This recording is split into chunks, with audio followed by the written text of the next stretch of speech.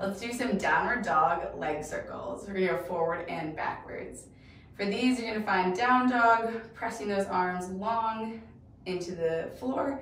Then you're gonna extend your leg back and we'll get in 10 circles going each direction.